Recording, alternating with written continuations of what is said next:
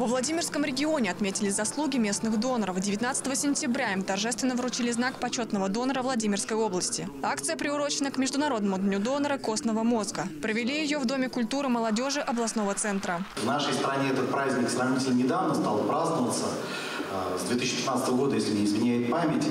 И он называется международным, потому что порядка 50 стран э, уже занимаются, в том числе наша страна, Россия, уже занимается этой нужной, благородной работой. Пару лет назад члены молодежной думы предложили отмечать заслуги доноров на областном уровне. И в 2021 году церемонию награждения утвердили. Заслужить ее непросто. У многих уходит на это годы, ведь кровь на территории региона нужно сдать не меньше 20 раз. Тем не менее, обладателями почетного знака становится около 40 местных жителей ежемесячно. Переоценить важность материального поощрения нелегко, считают медики. Это, ну, как бы признак э, того, что человека заметили, это знак уважения, это знак того, что то, что ты делаешь, это не напрасно, и что тебя видят, ценят, замечают.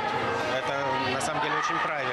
Еще одна акция прошла уже на станции переливания. В ней приняли участие исполняющие обязанности председателя Заксобрания Роман Кавинов и активисты молодежной думы. Они сдавали кровь. Свою Павел Черняев безвозмездно пожертвовал уже в четвертый раз. Он убежден, что к такому делу нужно подходить с максимальной ответственностью. Алкоголь, курение и так далее, это полностью исключается там, за определенный промежуток времени. То есть э, курение за час, алкоголь за сутки, жирную пищу за двое суток желательно, а, соответственно, все растительные э, белки можно.